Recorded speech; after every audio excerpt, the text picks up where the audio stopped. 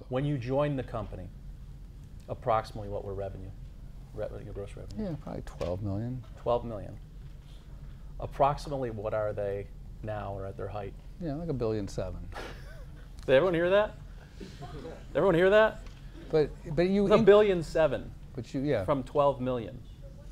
It's so But you increment your way there. You can't. I mean, you can't. You cannot see beyond what's that song? I can't remember who it was, Jimmy Cliff or whatever. You can't see beyond the wall in front of you. You know, we're at 12 million. We just want to get to 25.